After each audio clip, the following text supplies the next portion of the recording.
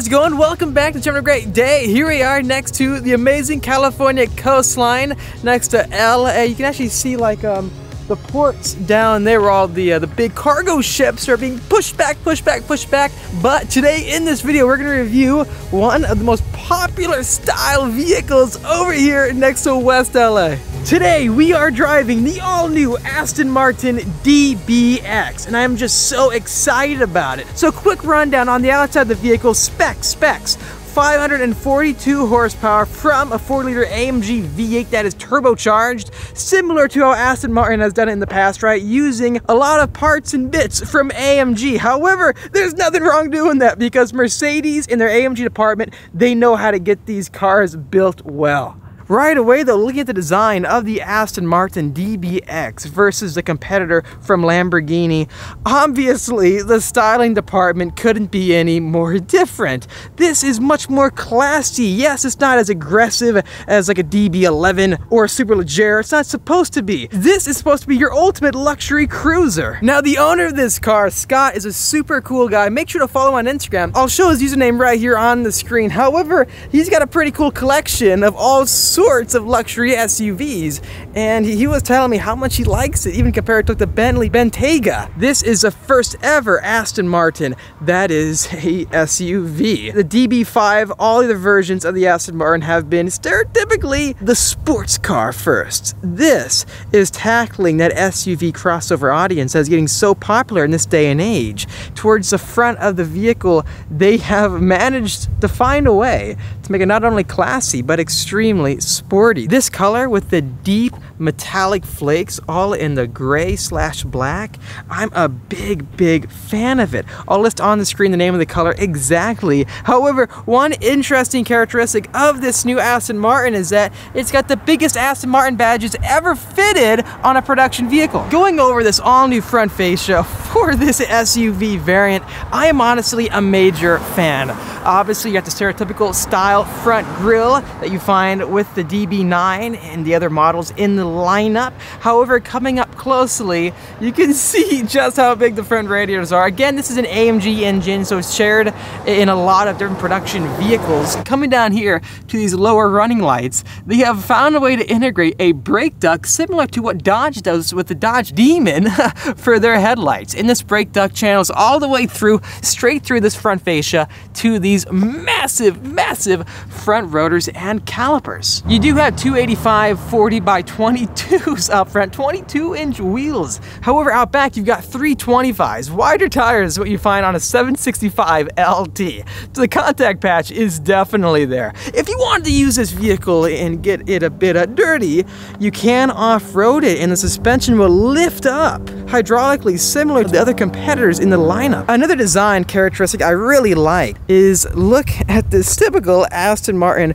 rear ducktail going straight up. I'm a major, major fan of how clean and fluid this vehicle looks, especially with these high-tech LED taillights and headlights. Interestingly, you do have a spoiler that is like baked in to the back hatch, and I'm not quite sure regarding the functionality of it, what it'll do. I'm leaning towards just adding stability to the rear end of the vehicle. You never know, you may need that rear spoiler out back if you're going after that 183 mile per hour top speed. You've got these hexagonal cutouts in the actual molding, which will help provide cooling for those rear exhausts. Check out these floating vents right here. This adds such an aggressive stance to the car. And it'll help release a lot of the turbulent air, the airflow behind the front wheels.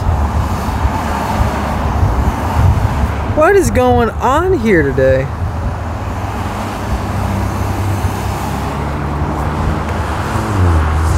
I've never seen, I've never seen so many Porsche SUVs in my life. Are we trespassing into their domain? These door handles are just like those of the Lamborghini Huracan. Push in, pull out. Here we go, getting inside the Aston Martin for my first drive.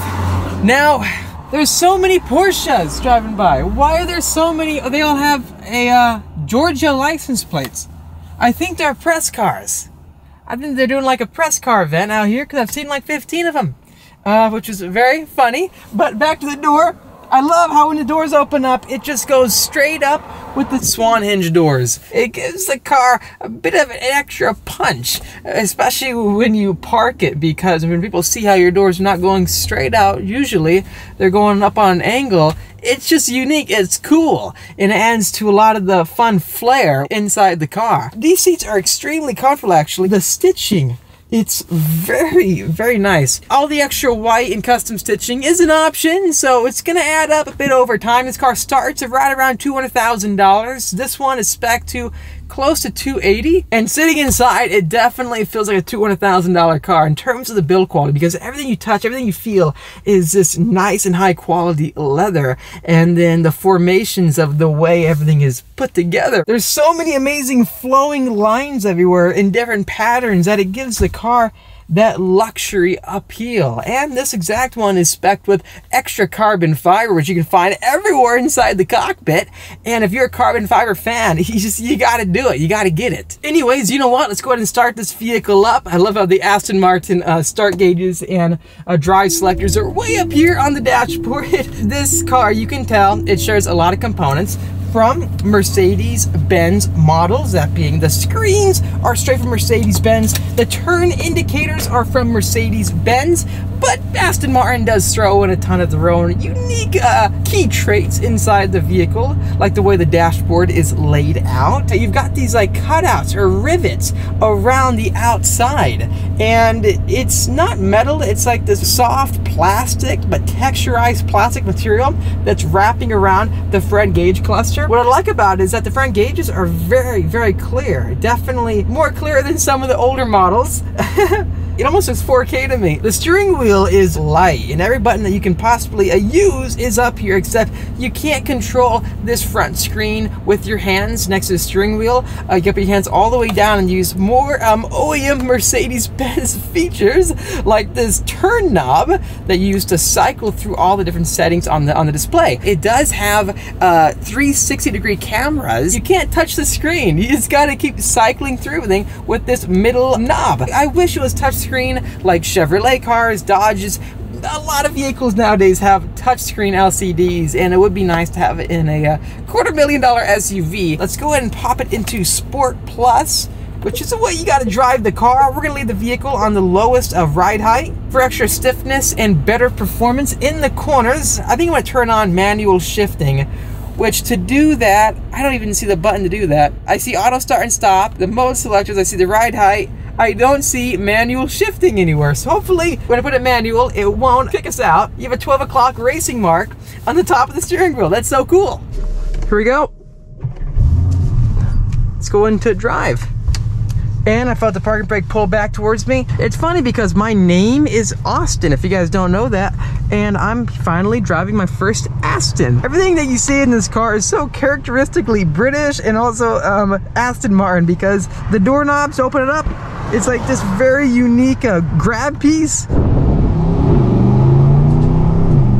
Oh yeah. It definitely feels good so far.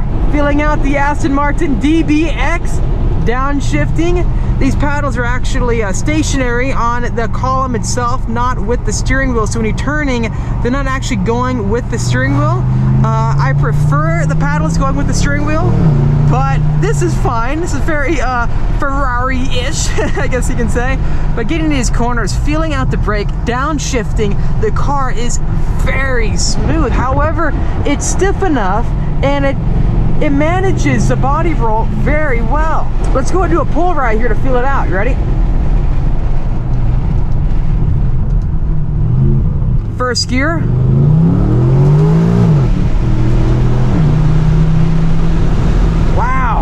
Look at this view next to us. This is where you gotta drive one of these vehicles.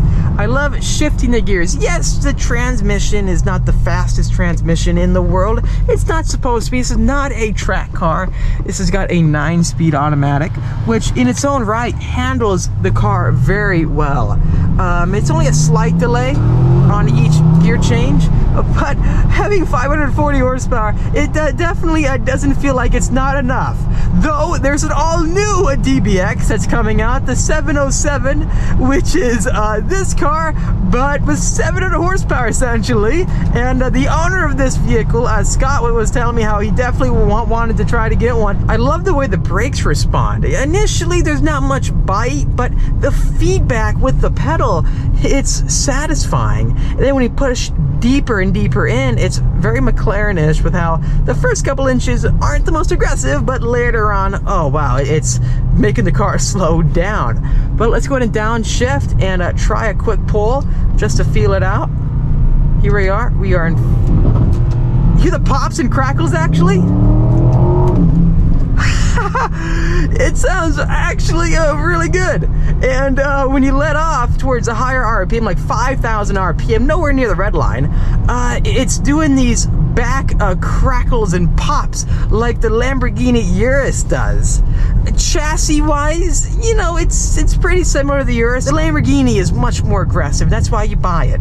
This, you buy an Aston Martin if you have class. Look at these roads, it's so smooth. And in sport mode, the vehicle isn't getting too bumpy or rough. It's soaking up the bumps very well. I love these roads out here. I, I wish I lived closer to the coastline. Downshifting. Hear the pops right there?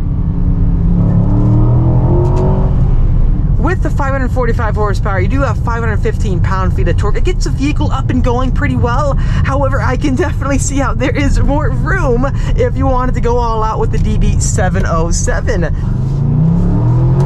Yes, this is not the fastest luxury SUV on the market. However, you're not buying into that. You're buying into the Aston Martin Prestige and the, the luxury. It's a luxury brand, isn't it? And uh, for what it's offering, you, if you buy this, you would definitely have a car that, that would turn heads. And for that reason alone, I believe it is the best-selling Aston Martin there is. The target audience for this car.